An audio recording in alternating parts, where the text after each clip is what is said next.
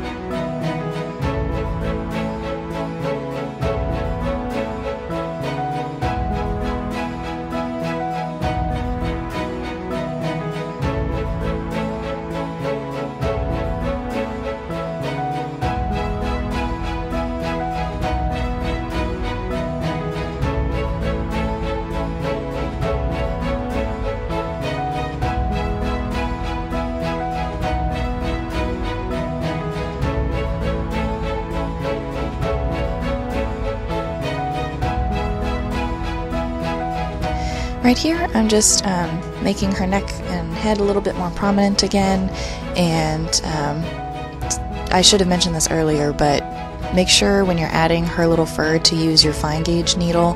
Um, that will keep you from kind of misshaping her base shape and just attach the um, the colored wool to her. So those are her little her little tail fins. I'm still trying to keep those her little wings, and um, just uh, fill in where you want, and we'll go back and re redo her head a little bit just to make sure that none of the definition was lost, and then add her little facial features.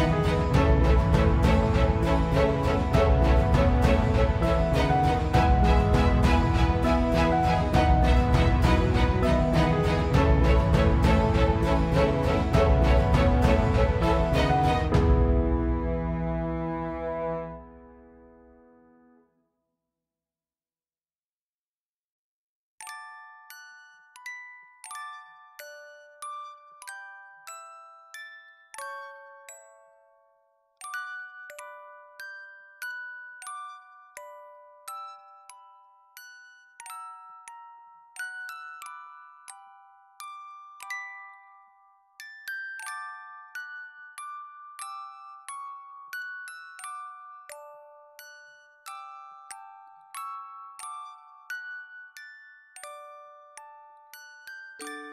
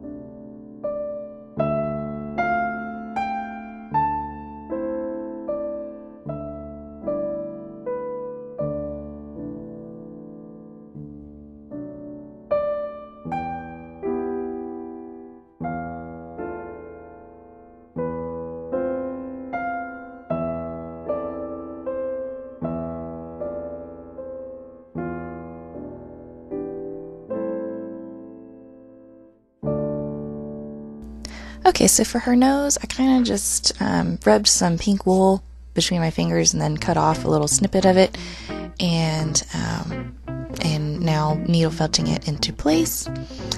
And you don't want to you don't want to push too hard or felt too much because then the pink will just disappear into her face.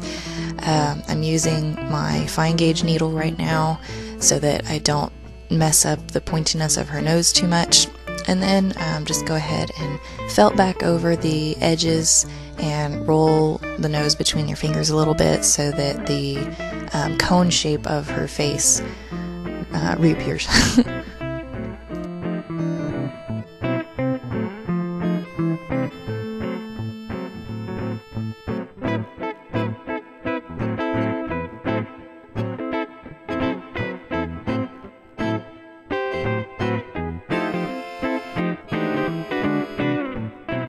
just trying to flatten her out a little bit on her belly so that she sits without rolling over and then to make her look a little bit more hunched over. These are this is all being done with my thickest gauge needle just to kind of reshape her body a little bit after all the work we've been doing on her. And then I'm going to move on to making her ears. They are a little lopsided because I'm terrible at getting them the same size but um, uh, anyway, go ahead and use, you can use whatever kind of um, skin tone color that you have. Um, I used, I, I had kind of a peachy, fair skin tone color, but just whatever whatever matches the hamster you have in your head or picture you're following. Um, and so that, that peachy color will act as her ears, and then we'll move on to her eyes.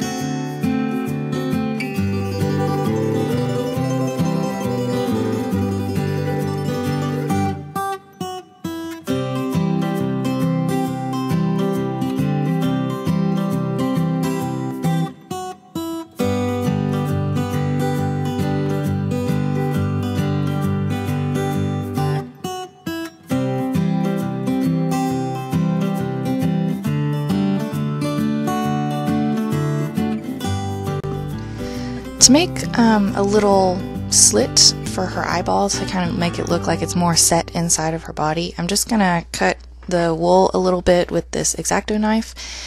It, um, it, it'll just make it look a little more natural and not so bug-eyed with the kind of eyeballs I'm going to be using. Um, like I said earlier, these are little nail art pearls. Uh, they're the perfect size. I just painted them with some black nail polish to make them shiny and then I'm adding a little bit of fabric glue onto the back and setting them into place with um, some these are jeweling tweezers and they make working with miniatures really, really nice because they're super precise. And so um, you could also use glass eyes that have little uh, spindles in the back. Helps them set a little easier, but I am, if you follow my blog, I'm a frugal, frugal living kind of person. So um, I just try to use what I have, and that um, glass eyes can get expensive when if you're if you're making them all the time if you're making these little creatures all the time and practicing. So that's why I like using the the little nail art pieces. So anyway after those are dry your little hamster is all finished. If you want to see how to clean out the walnut I'll go ahead and post that video um, how to open it and clean it and get the two halves without breaking it. I'll post that video in the info box below. I also have links to all of her, um, all of the supplies I used in the info box below. It'll be ta- you'll be taken to my blog, and um, if you don't have any of these things, you can find them there. So here she is finished in her little walnut house. Uh, this is from the Gilded Walnut video, and it's the same one I used in the Mini Bunny video and she's she's finished. She's your little pocket pet. Uh, if you liked this video, please give it a thumbs up. And if you have any suggestions for future animals or um, needle felting suggestions, go ahead and leave the leave me a comment.